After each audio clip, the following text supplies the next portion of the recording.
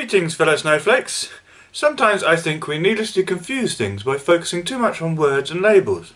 Perhaps this is why what people call social justice gets so much flack sometimes. Look, I don't really pick sides. What is important to me is truth and compassion. This is the foundation behind all of my views, and although I often find myself coming down on the social justice side of things, there are also times when I can understand some of the criticisms people have towards certain ideas. Take biological sex. I think that the existence of intersex people definitely proves that biological sex is not a strict binary. In other words, you can't say people are always either biologically male or biologically female that there are other people who exist who have one set of chromosomes but the physical anatomy of the other sex, e.g. complete androgen insensitivity syndrome, that there are people with ambiguous genitalia, and there are even people with ovotestes, gonads that have a mixture of ovary and testicular tissue. All these conditions prove that there are exceptions, people who are not entirely male or entirely female, but fall, I guess, somewhere in between. But I do think that scientifically it is probably accurate to say that the human species generally has two sexes. All the mechanisms, chromosomal or anatomical, have the function of creating male and female, two sexes.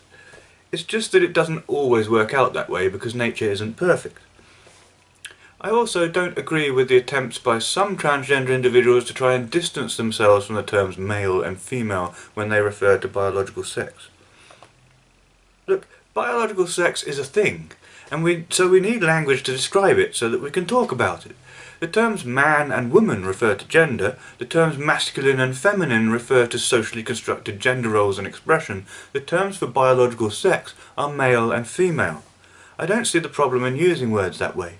It is important that we can still talk about biological sex when we need to. For example, with regards to feminists talking about pregnancy, periods, abortion, etc. Things that affect biological females and where biological females might be treated unfairly by a patriarchal society. Having said that, I think chromosomes, although they might usually create a certain biological sex, are not the definition of a biological sex, and that when a transgender woman or a transgender man transition with hormones and surgery, they absolutely become the biological sex they want to be.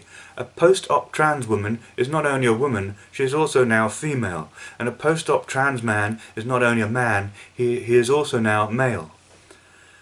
As for gender identity, I accept that there are those whose neurology may be intermediate between male and female. I accept that there are those who don't fit into the categories of man or woman and their gender identity is more complex than that. I absolutely believe in the need to allow non-binary individuals some kind of gender-neutral way to be in society, where they don't get gendered as men or women and their non-binary gender identity can be officially recognised. But counting genders is, I believe, misguided it only confuses people and makes them hostile. Plus, I think it is the case that some people are neurologically male, some people are neurologically female, and some people fall somewhere in between. While words and labels are an excellent way to express how you feel and explain how you make sense of your non-binary identity, I think it is possible that those who are neurologically intermediate just have different ways of describing and explaining their gender. Call yourself agender, bigender, intergender, demigirl, demiboy, gender fluid or whatever. That's fine.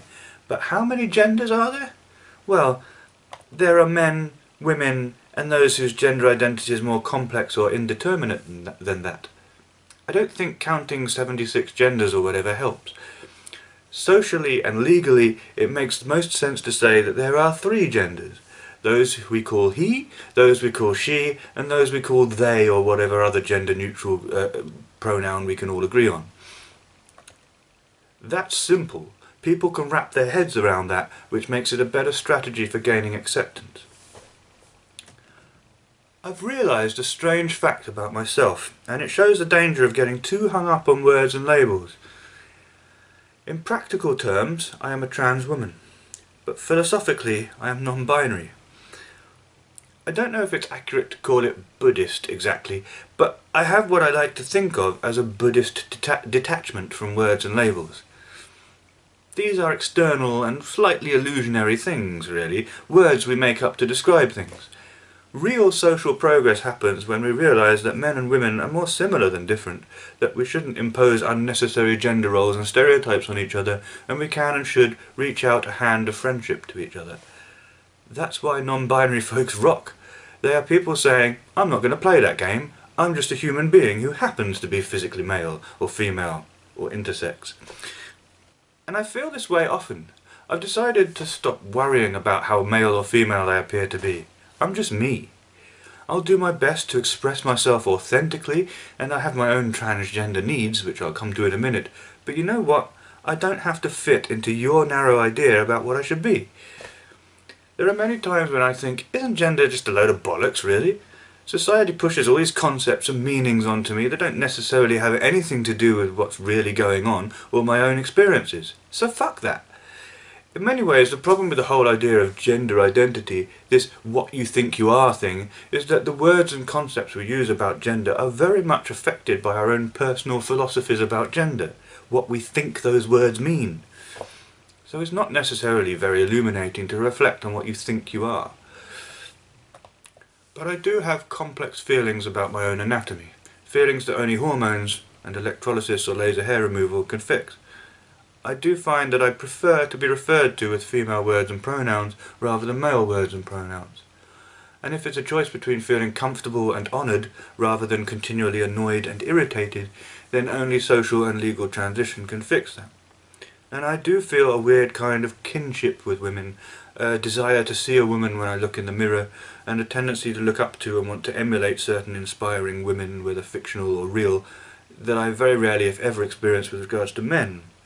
And all of that means that I'm genuinely transgender and would benefit from transitioning. So that's it really, an insight and an update to what I've been thinking with regards to gender. And talking of updates, the assessment process with the gender clinic is now complete. I've been given leaflets and information about hormones, a recommendation to get checked out by the doctor before I go on hormones, and also information about facial hair removal and a discussion about whether I want surgery. So things are moving forwards. So hopefully I'll begin my physical transition soon. I'm happy about that, especially since I learnt that the first few electrolysis or laser hair treatments on my face will be on the NHS so I won't have to pay for them. That makes me so, so, so happy. anyway, we're all different, we're all special. Snowflakes unite.